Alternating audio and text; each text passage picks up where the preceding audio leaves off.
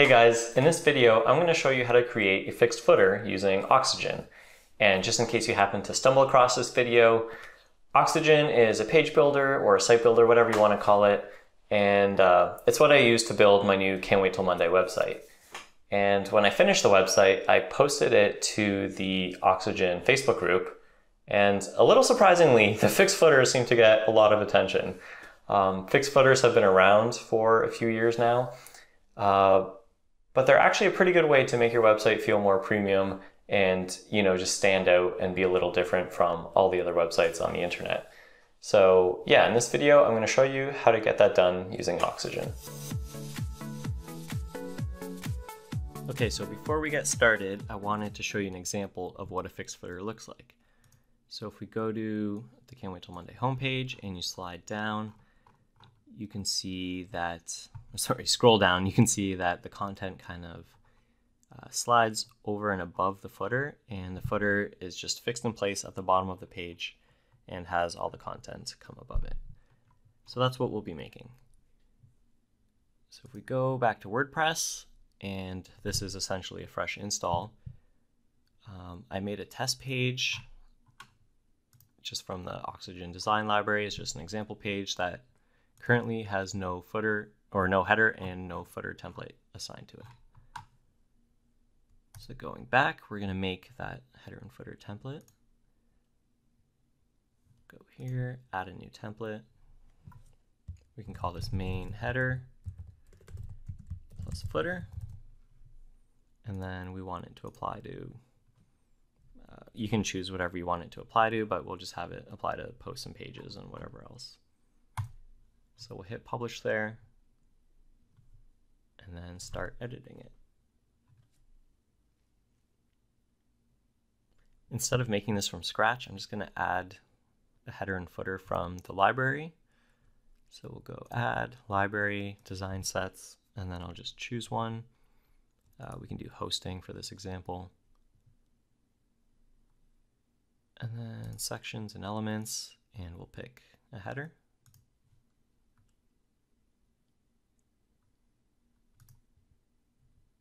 And then we need to add our inner, inner content. As you can see, it pulled in our test page. And then we need to add a footer.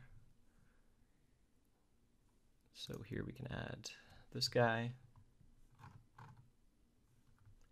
And if we hit save and go back to our test page, we can see that it added the header and footer and right now this behaves pretty normally. The footer just, you know, scrolls as it normally would. So to make this a fixed footer, let's go back into the editor. And then what we'll want to do is go to the footer, go to advanced, layout, and set the position to fixed, and then have it at the bottom of the page. So we'll set this to zero and this to zero. And then we want a z-index of negative 1 so that it appears under the content. Otherwise, I think if we keep it like this, it'll just always appear at the bottom, which we don't want. We want it to reveal itself. So we'll go to, we'll put in negative 1 here, and that way it's basically gone now. Well, not gone, just hidden under this section. And then one other thing that we'll want to do is set a height for this footer. So for this example, we can just put in something like, uh, actually, I'll show you the easiest way to do it. If we just really quickly take this away for a second, and then come back here just so we can see it again. If you inspect the element, you can kind of get the height of it. So this is 273 pixels. We'll just set it to 300 to make it easier. So we'll put the Z index back and then set the height. 300 pixels. And then I think that's all for the footer. And then what we need to do is create an inner content container to separate the page from our footer. So this is usually enough on pages and posts, but for archives, um, Oxygen doesn't create the container around the elements within inner content. So we need to make one ourselves. So if we click add and we put in, I think just a div would work. Throw that there and then, okay, I don't know what happened here. Uh, get rid of that. So we just need the inner content within this div. There we go. And then we can rename this just so it's easier to keep track of. Inner content container.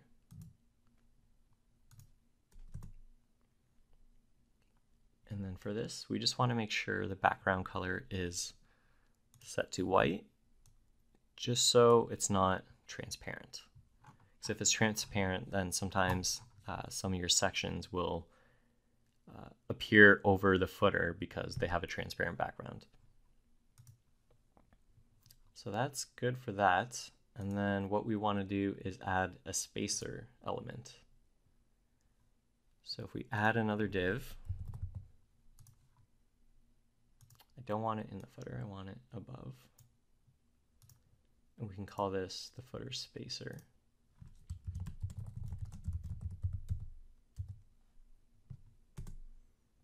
basically all this is going to do is create some space. Uh, if you can remember when this hides behind this section, the spacer will just create some space at the bottom of the page. So with the spacer, we're going to go to advanced and add a margin to it. Uh, sorry, not here. Um, size and spacing we're going to add a bottom margin that's equal to the height of the footer that we set earlier. So in this case, it was 300 pixels. And as you can see, that adds some room for uh, the footer. Um, but it did create this extra space, which we don't want. So we're going to set the height to 0 pixels and the width to 100%. So now this footer spacer is technically has no height, but has this bottom margin of 300 pixels.